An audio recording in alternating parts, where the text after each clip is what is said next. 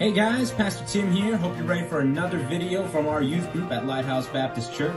If this is your first time watching a video or you're trying to catch up on a missed lesson, we hope that this video is a blessing to you and helps you grow in your relationship with Jesus Christ. Ecclesiastes chapter 11. Some of you guys saw in the note takers, and we'll explain it here in a second. The lesson is entitled Be a Cloud, all right? All right, so we're going to read the first four verses, and then we'll get into it. Starting in Ecclesiastes chapter 1, verse 1 says, Cast thy bread upon the waters, for thou shalt find it after many days. Give a portion to seven and also to eight, but for thou knowest not what evil shall be upon the earth. If the clouds be full of rain, they empty themselves upon the earth. And if a tree fall uh, toward the south or toward the north, in the place where the tree falleth, there it shall be. He that observeth the wind shall not, shall not sow, and he that regardeth the clouds shall not reap. Let me ask you guys this. Will a cloud continue to gather water, or vapor, if you want to get all technical and stuff, will a cloud begin, continue to gather water indefinitely? No, like just no. continue? Why not, Gabe? That's right. It has to rain. No, at some point it's got to let it go. All right, it's gonna rain, and we call that when it rains and eventually gathers back in. It's called the the waters. The what? Hydro. Okay. Simpleton way though. The water cycle, although brief. All right, and there's a reason why this picture is used here in Ecclesiastes. All right, because a, a cloud is made up of water, vapor, vapor, and the Bible says vapor is here before a. It's for a moment or a season. I mean, that'd be pretty cool. if Cloud lasts the whole season. So it's very significant of life as well. All right, although brief, life is filled with, you know, gifts to be enjoyed and stewarded for God and God's glory. Okay, many of the things that Solomon sees in life, he says they're what? They are vanity or vain. They're empty. They're pointless. All right, but it seems here you might be starting to understand that you know even these unsatisfying things in the world, all right, can be stewarded stewarded in a satisfying way. All right, does anybody remember what does it mean to steward something? And we're all stewards of, of what God has given us. Uh, Josiah.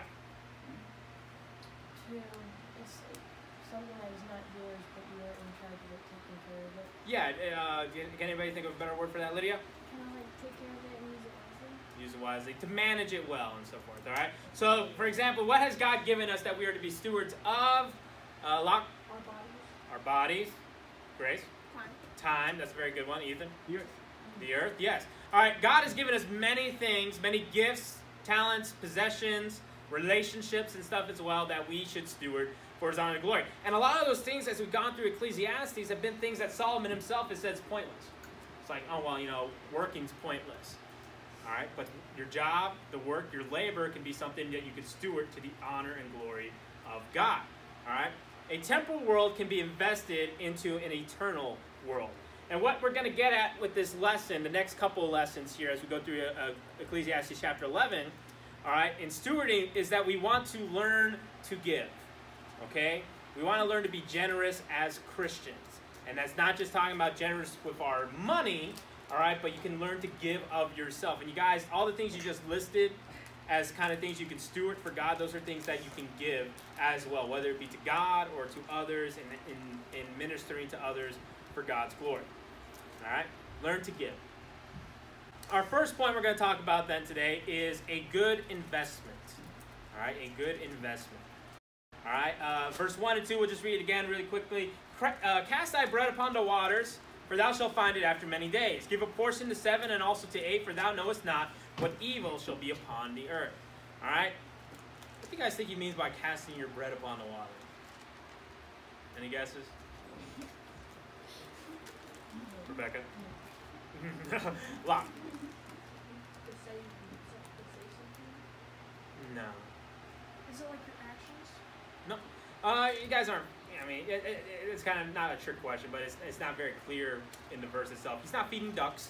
All right, don't worry about that. He's not. He's not. He's like you know going to the park and just. eh. All right, uh, but what it's most likely referring to here when it says "cast thy bread" uh, is a reference to um, into trade. All right, if you're in like, uh, it's a reference to grain trading via ships, casting your bread upon the water. All right, and the reason he says um, in verse 2, give a portion to seven and also to eight, uh, he's talking about ships. All right, you can cast your bread or, or, or, or trade it out and put it onto seven ships or eight ships. uh, and, and the verse ends, For thou knowest not what evil shall be upon the earth. Why then would he want to spread out his commerce, the things he's trading out into multiple ships, because you know not what evil will come upon Dax? Because one ship could be taken over, and if you have everything, then all that will be taken. Yeah, yeah, exactly. Not just taking over. We're not just talking about pirates. arr, Okay. Uh, what are other things? What are other quote unquote evil things that could happen to a ship? Luke. Uh, storms. Yeah, storm and stuff. Uh, Paul knew about that greatly in his life. Um, yeah, so the cast iron bread is a reference to grain trading uh, via uh, the shipping industry, and the seven to eight is to ships. All right, and just kind of diversifying that so that hey, if one does go down, you're still going to uh, receive a reward or something from that trade because you're obviously not trading it for nothing, right? Yeah, and that's what it means there by cast thy bread upon the waters, for thou shalt find it after many days. You're going to get a return on that investment.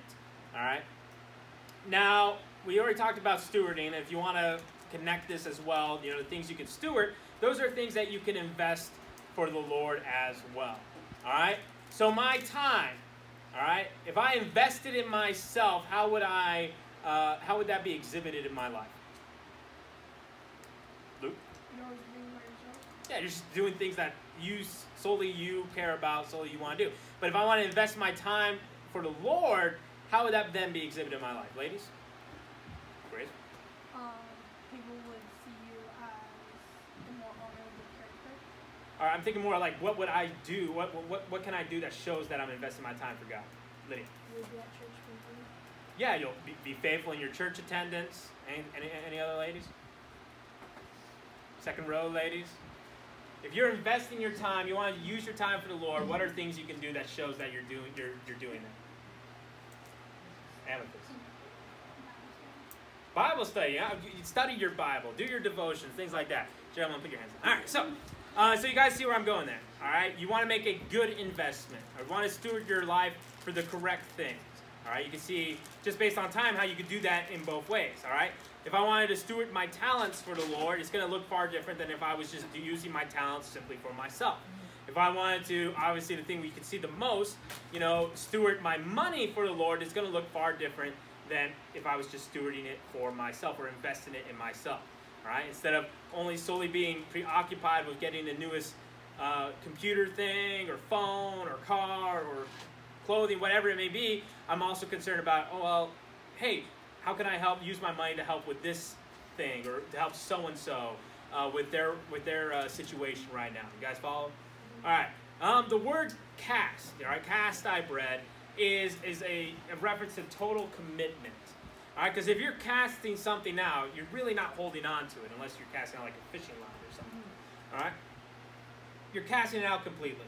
Okay, um, it's a reference to total commitment, as opposed to if you're simply wanting to invest in yourself, if you're simply wanting to steward the things God has given you for your own sake, we would call that not casting or being fully committed to God. We would call that, hey, I'm withholding. So you want to be, if you're making an investment for God, you want to be totally committed to that. All right, you guys understand that there's no, God doesn't like a lukewarm Christian. All right, there's no sitting on the fence when it comes to God. You're either all in or you're all out. The Bible says you can't serve two masters. All right, so when I think of this, you know, I, I think of, um, you know, how many guys like to go to the pool? Okay, all right, put your hands down. Now, I'm gonna describe this to you, all right, and we'll ask in a second which one of this, which one of these people are you, all right. But there's really two kinds of people that go to the pool, and I'm talking about that enter the pool, all right. there's the crazy person with no abandon that as soon as he gets there, even with his flip flops still on, he just throws his towel somewhere, and they just jump right in, cannonball. Usually it's your guys and stuff like oh football and and, and stuff like that wanting to break a big splash. They just go right in, all right? Reckless abandon, they're right into the pool. Then there's a different person, the person that comes and, you know, even though it's 110 degrees out and stuff, because they're wearing a bathing suit, they still have their towel over them because for some reason they're cold, all right? And they're going to the pool and they don't go in, they go all the way to the shallow end where the steps are, hmm. and then they go one step at a time Oh, okay. Because the water's a lot colder than it is out in the sky. And they go in, and they keep going, and then eventually they get to that that, that belly button region, and apparently that's like the like when it gets really cold, and they're like, and they just super slowly get in until finally they get up to their neck, and then the next precipice is like, okay, I have to dunk my head in the water. Oh, it's, oh, oh. it's like torture. And- But how many guys have seen somebody like that? Like they just take forever. To, all right, so put your hands down. If you are the reckless abandon, jump in the pool, raise your hand. What the fuck? All right. Oh, get it over with. Put your hands down. Get it over with. I know. If you are the test the temperature, wait for your whole body inch by inch to get acclimated to it, raise your hand. Wow. So we got we got some honest people here. To make a good investment, to be all in for God, you cannot be the dip your toe in the water Christian. All right. And here's what I mean by that. You can't go in and just be like, "Ah, maybe I'll do this stuff as long as it doesn't seem like it's gonna ask too much of me. All right, like oh the water's too cold, and then you're like, oh man, I don't know if I can do that. That's asking to, I'm, and then you take yourself back out. So instead of going in and wanting to serve God, you have all the intentions to, but once you start seeing that it's going to cost you more than you want it to, or it's going to take more of your time than you want it to take because you want to do other things as well, or do things with your friends, or it's going to cost, you know, I don't know, I'm embarrassed. I don't want to use my talents like that in front of people. You guys see where I'm going? It's whenever it seems like it's going to cost too much, aka the water seems like it's too cold, you get right back out, you put your towel back on, your, your flip flops, and you're out of the pool. All right? If you're going to be committed to God, you have to be all in. I'm not saying you have to be crazy and reckless in how you serve God, like you're jumping in the pool, but you get the idea. You're casting your cares upon the Lord, for He cares for you. You're committing yourself unto God, like Ruth when she said to Naomi, you know, hey, where you go, I'll go. Your God will be my God that's how you should approach your investments that you're giving to God as well. Investing your life in Him. Uh, we are called. Let me see what my next thing. Yeah, go all in. All right, here's a good verse. We'll get to in a second. Uh, we are called to purposeful, generous living, and it's in stark contrast to what the world wants us to do, which is simply to consume unto ourselves.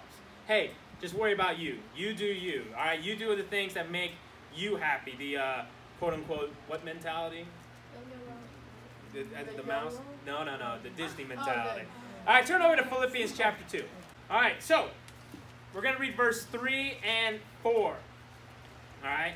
Verse 3 says, Let nothing be done through strife or vainglory, but in lowliness of mind let each esteem other better than themselves. Look not every man on his own things, but every man also on the things of others. So don't be preoccupied yourself. See how you can serve. See how you can give unto others to God's honor and His glory. But in verse 3, I just love how it says, Let nothing be done through strife or vain glory. All right, what's vainglory mean? All right, it has that word vain at the beginning. Like thinking you're more than you really That's not bad. Yeah, it's thinking more of yourself than you should. Yeah, Uh, seeking praise for the wrong reasons. Seeking praise. Pretty much, you're occupied with yourself. All right. Are you making an investment for the Lord or stewing your life for the Lord if you're preoccupied simply with yourself? No. All right? And you're not fulfilling the purpose God has for you, like we see in these verses of esteeming others better than yourself, seeing how you can serve and help give unto others and serve God in that aspect. All right? We're called to be giving, to be generous with our lives. All right? Um, Luke 6 38. Remember in our passage says, after many days you'll find it again. You'll get a return on your investments. The life you give away will in some way come back unto you. God will bless you in that regard. Uh, give, and it shall be given unto you. Good measure, pressed down and shaken together, and running over, shall men give into your bosom. For with the same measure that ye meet or give out, withal it shall be measured to you uh, again. All right. Now don't don't get this confused. This is not saying you should treat God like it's a, a karma thing, all right, or like a prosperity thing. Like, hey, as long as I keep giving out doing the things I'm supposed to, God's gonna give all these riches and such back to me. Is that is that the right view we should have of God? Because understand, if you have that mentality in in a in trying to live generously, you're not you're not giving for the right reasons, right? You're still thinking of yourself. You're still working in that, operating in that vainglory type aspect. Okay, but God does bless a cheerful giver. Yes. All right. The blessings will come back unto you. All right. Um, but let me ask you this: What is the greatest investment you can make in your life, Chris? Um, by worshiping God. By worshiping God. That's not bad. Yeah. Anything else? What's another great investment you can make? Second row, ladies. Alana. Joanna. Other people's lives. Yeah. Invest in other people's lives. Luke. Uh, to give your life to God. give your life to God. You want to invest in the gospel of Jesus Christ. When you put the gospel first in your life, all right, you can rest that you are in line with God's clear promises of provision and a life of eternal value. All right, because if you're investing in the gospel, you're serving God and you're see- and you're putting others above yourself. Uh, Matthew 6:33. Does anybody know what Matthew 6:33 says? But seek ye first the kingdom of God and His righteousness, and all these things will be added unto you. All right, seek to invest in God's kingdom. All right, our last point for this evening is a poor excuse. So we have a good investment, but we can also have a poor excuse. And this is where the cloud thing starts to come in. All right, in verse 3 and 4, we'll read that really quickly. It says, If the clouds be full of rain, they empty themselves. We said that at the beginning. A, a cloud just does not continue to gather in vapor, okay? It's going to let it out. All right? If the clouds be full of rain, they empty themselves upon the earth, and if the tree fall toward the south or toward the north, in the place where the tree falleth, there it shall be. He that observeth the wind shall not sow, and he that regardeth the clouds shall not reap. All right, so Solomon first, he's using the picture of, of water or rain and trees, all right, to picture this uh, thing to us. Uh, but what he's describing is, we already said it, the water cycle, or, or what was the other thing you guys called it? Hydrologic. The hydrologic. Hydrologic. Man, wow. All right. So what are the stages in the hydrologic? I want to see if there's new words here. All right. What's the stages in the water cycle? Evaporation.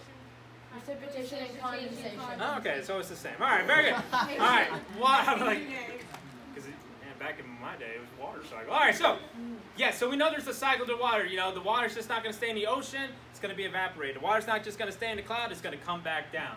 All right, and that's important. All right, the cloud, in a way, and this is the picture here. The the cloud's not hoarding the water in. All right, that'd be weird. All right, it's not saying no, no, I want to get really big. I want to be the biggest cloud, and you know, no, it's going to eventually have to let all the water out. In a way, it gives back to the earth.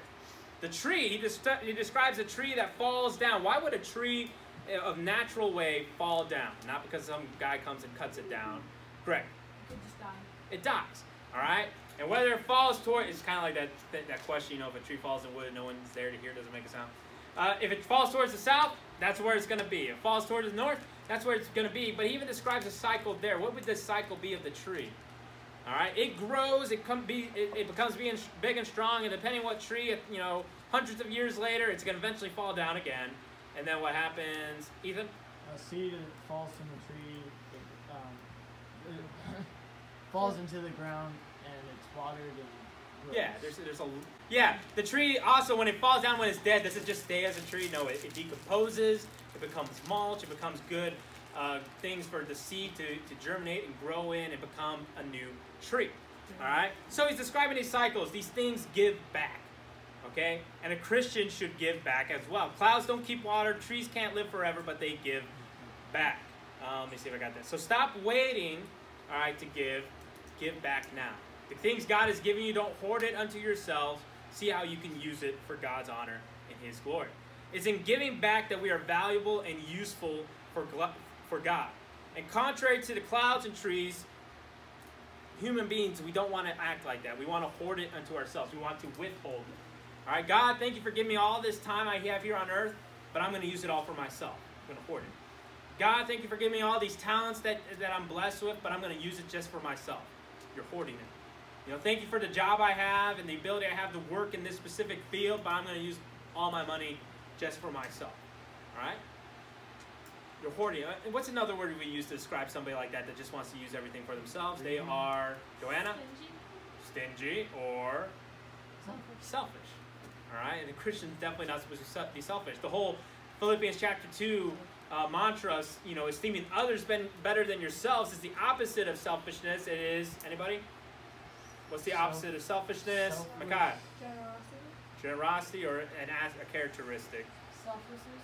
selflessness or humility. All right, it's unnatural and impossible for a cloud to retain water without giving it back. All right, just as it's unnatural and impossible for you to have a full life in Christ while trying to hoard and selfishly use all the things God has blessed you with. Right? you're like a cloud that's trying to become the biggest cloud in the sky. It's, like, it's weird. It's not. It's, you know, it's not natural. All right, if you want to live a full life for God's honor, His glory, you you, you naturally want to give back of what God has given you. Um, let's think of this really quickly. In verse 4, he says, He that observeth, now this is what might hold us back, and it's kind of uh, the same with the pool analogy I used.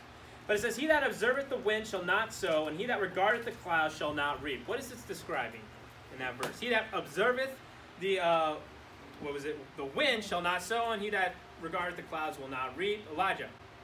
If you're paying attention to the wind, you're not paying attention to the clouds that can possibly bring rain for your crops. Not exactly, but you're observing it. Uh, somebody, na- Luke. Um, if you're looking at all of the things that other people have, you're like um, having like pride because you think more is me. No. If I'm looking at the cloud, like I'm a farmer, he's talking about sowing and reaping. And if I'm looking at the clouds or I'm looking at the wind and it's making me feel like, nah, I'm not gonna reap uh, today, why would that be? Chris, no, Lot. Because you think it's still rain. Yeah, he's like, oh, it looks like it's gonna be rain. It's right there on the thing, guys. Looks like rain. All right. Um, if he's regarding the clouds, if he's like, oh, the wind's really strong, I'm not gonna do it. Oh man, the clouds look kind of dark. It might rain. I'm not gonna do it. He's just making excuses.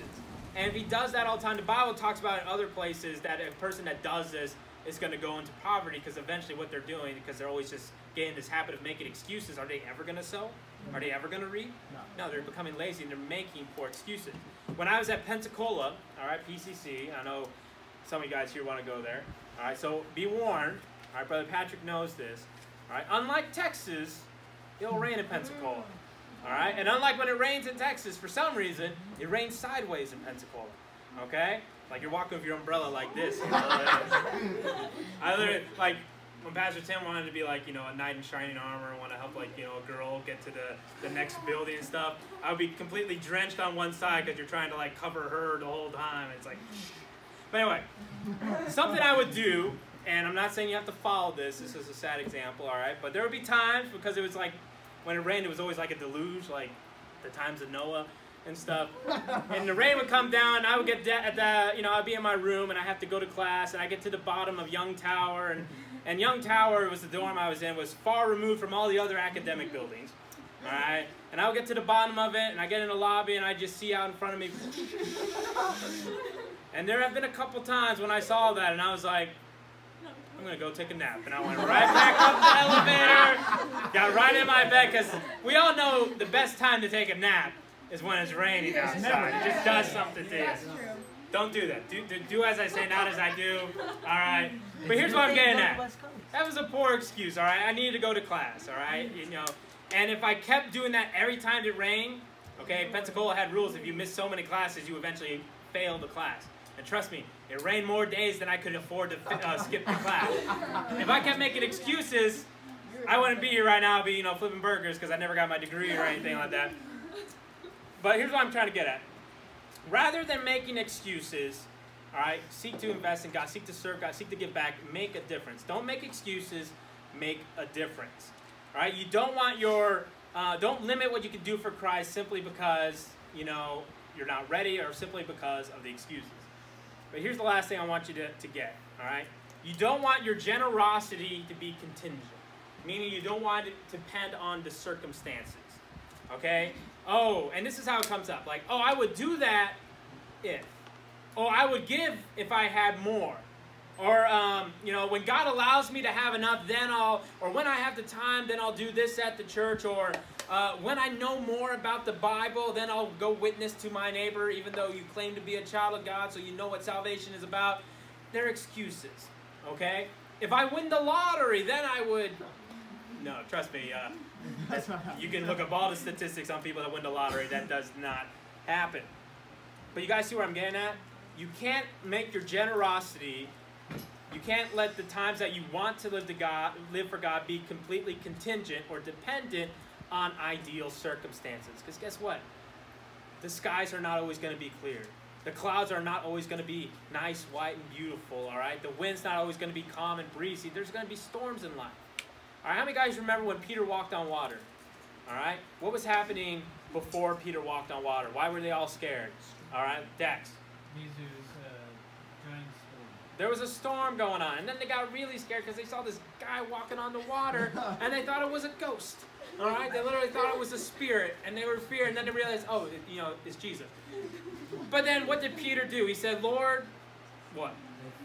If, it, If it be you, let me come out there. And he gets on the water. And you know what didn't happen at all during that time? he didn't fall. No. He wasn't. He didn't die. The wasn't- thing that didn't happen didn't was God never at one point calmed the storm. Okay? He calmed the storm when he was sleeping in the boat, remember? And he says, Peace be still. But the whole time when Peter was walking on the water, walking to God, the storm was still raging. The waves were still going on, the wind was still blowing. Uh, the clouds definitely were not white and beautiful. It was very ominous. But Peter was walking on water because he was focused on God and he wanted to be closer to God. Okay? But when did Peter start sinking? When he started looking. When he started looking around, started looking at all the, oh man, the circumstances aren't ideal. Oh man, I wish I was still in my boat. Which, when he thought about it later, it's far better for me to be with Christ than in a little boat that was about to go down. And he started to sink. All right? You can't let your generosity, you can't let your will to live for God be completely contingent on ideal circumstances because they're not always going to be ideal. All right? And sometimes we forget that, especially when we have this mentality of, hey, God, I've been living for you. You need to give things back to me. No, God doesn't owe us anything. God is the one who has blessed us with the things we have. God is the one, if you know Him as your Savior, has blessed you with salvation. All right? We give our lives to Him. Okay? Your generosity can't be contingent on ideal circumstances. All right? Are you driven by love for God or by, you know, an ideal situation? I think I have your notes there, Mark 12, 45, 43. We don't have time, but I'll just reference it. This That's the passage where um, the Christ and his disciples are standing by the treasury or the, the, the, the money table, and people are giving uh, unto the Lord, giving unto the temple. And you might have some Pharisees that go by and are, you know, oh, I got these big bags, and they dump them in and stuff, making a big commotion. Uh, but who did Christ say gave all? Who did Christ say was the most generous? Makai. The lady who got- The, the, the widow lady, yes, the widow that dropped, uh, the, I think the Bible said it, three mites. All right, which, sorry, I didn't do the math. You can look it up later. But it wasn't much. But why did Christ say she was the one that gave the most? Oh, my bad. All right, Luke. Uh, because she didn't give just to make herself look good. She did because she wanted to give back to Jesus. Yeah, she gave out of worship to God, out of love for God. She gave, and not only that, she probably gave all that she had. She was all in. All right? Don't have poor excuses, but seek to make good investments. All right? We are simply giving of what God has already given us in the first place. All right? When the cloud when the cloud rains, what's going to happen to the water that just came out? It's going to come back and become a a new cloud. All right, when the tree falls down, what's going to happen in the place where it falls down? A new tree is going to come up. All right, the things that you are giving to God in service of Him are already things that God has given to you, and God's going to give it back to you over and over again. Right, you just have to be focused on seeking Him and His kingdom and investing in the gospel of Christ.